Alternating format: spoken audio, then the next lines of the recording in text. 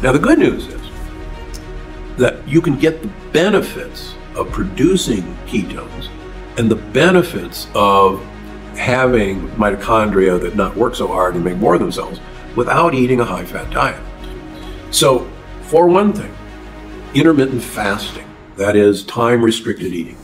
The shorter the time window that we begin eating food and finish eating food, if we can compress that to around six to eight hours during the week and take some time off on the weekends, you can actually reliably produce ketones that will help you lose weight without changing what you're eating.